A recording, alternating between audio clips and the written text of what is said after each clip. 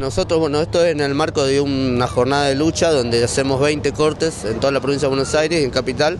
Eh, hoy temprano a la mañana ya estaban cortando los compañeros en Callao y Corrientes, digamos. La idea era denunciar un poco la situación de pobreza que hay en todo el país desde hace un tiempo que viene aumentando y una crisis que se viene profundizando y que viene decayendo siempre sobre los sectores más vulnerables, digamos, sobre los más humildes y los trabajadores, digamos, ¿no? Nosotros vemos en todos los barrios donde estamos, tenemos comedores, ayuda social en los barrios, eh, cómo cada vez más gente se va acercando a los comedores, trayendo a sus hijos y yendo comiendo ellos también, porque hay tantos pibes como gente adulta que va a los comedores nuestros y eso es producto de la necesidad que va creciendo, ¿no? Una crisis, gente que se despedida, gente que no le alcanza porque le aumentan las tarifas, porque le, le, aumentan los precios de la comida, de los alimentos, digamos, y bueno.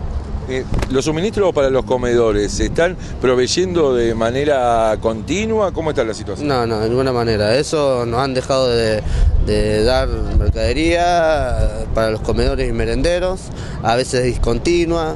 Anteriormente también siempre pasaba que cada dos por tres no nos daban, nos daban un mes, dos meses nos dejaban de dar, ahora lo han cortado hace un tiempo largo, digamos, y bueno, lo mismo pasa muchas veces en los barrios, en las escuelas, con los, comedores escolares también, digamos. Han recortado todo tipo de ayuda social, digamos. En los comedores hay, familias y madres que no pueden llevar a sus chicos a los comedores escolares porque, porque, no, porque no hay cupos. Son cupos limitados y este chico, bueno, ya tengo un cupo determinado en la escuela, ya tiene un cupo determinado y por ahí algunos pibes no pueden ingresar al comedor del colegio, digamos. Es una barbaridad. Es un recorte, digamos, en los sectores más vulnerables, digamos. Eso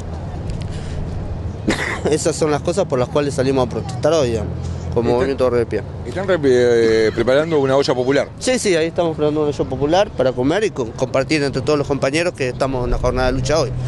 Están custodiados por Gendarmería. ¿Hay buen diálogo? Digo, ¿Han sido respetuosos hasta ahora la Fuerza de Seguridad?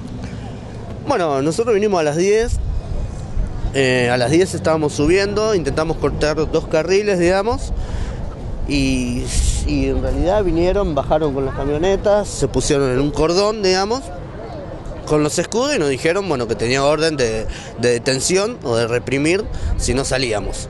Digamos, que nos quedemos afuera de la línea blanca, de la línea blanca para atrás, que no entró por tránsito, porque si no nos iban a reprimir o nos iban a detener, digamos.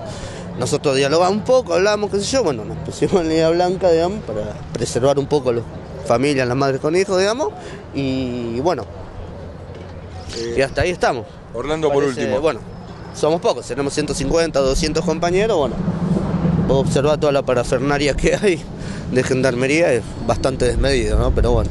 Orlando, por último, ¿hasta qué hora van a mantener la protesta? Y ese horario no, no sabemos, hasta que recibamos alguna respuesta, digamos, favorable a nuestras demandas, eso es seguro.